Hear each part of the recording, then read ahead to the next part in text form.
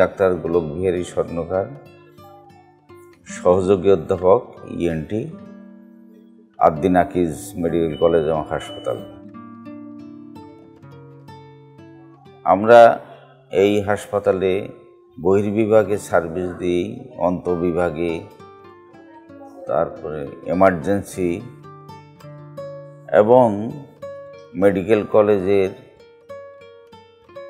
যে সমস্ত সংশ্লিষ্ট দায়িত্ব আছে, ছাত্র পড়ানো সহ তাদের টিউটোরিয়াল ক্লাস নেওয়া, পরীক্ষা নেওয়া ইত্যাদি আমরা কাজের সঙ্গে জড়িত। আউটডোর সার্ভিসের ব্যাপারে আমি একটা টপিকস একটু না বলে পারছি না।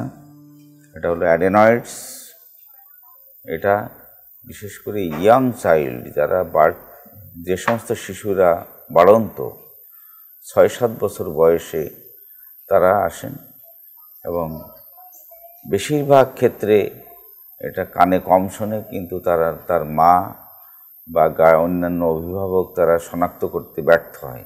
অ্যাডেনয়েডসের সমস্যা হলো নাক বন্ধ হয়ে যায় আস্তে আস্তে। নাক তার বন্ধ হয়ে যায়, দুদিকেই বন্ধ হয় প্রায়। নাকের দুইটা ছিদ্র, কিন্তু এটা দুদিকেই বন্ধ হয় সাধারণত। এটা যত দিন যাবে, তত বাড়তে থাকবে। আর কানে কম শোনে। এবং সময়ের সাথে সাথে সে লেখাপড়ায় পিছিয়ে পড়বে, তার বুদ্ধি দীপ্ত প্রতিভাও থেমে যাবে, থমকে যাবে। তার বুদ্ধি বা মেধা বিকশিত হবে না। বিকশিত হবে না, অনেক পিছিয়ে পড়বে লেখাপড়ায়। সেই শিশু মুখ দিয়ে শ্বাস নেবে। দেখা যায় যে খাওয়ার সময় তার গুরুতর অসুবিধা হয়। খাওয়ার সময় সে খুব আস্তে আস্তে খায়। সে ভাত হোক, রুটি হোক, যাই হোক, আস্তে আস্তে খায়। খাওয়া অনেক সময় সে রিফিউজ করতে থাকে, অর্থাৎ খেতে চায় না।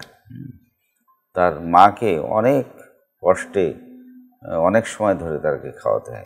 এটা হলো প্রধান অসুবিধা। এটা অনেক ক্ষেত্রে আছে যে মাথা ব্যথাও হতে পারে বা অনেক সময় যদি ইনফেক্টেড হয়, কিছু নাক দিয়ে রক্তও পড়তে পারে।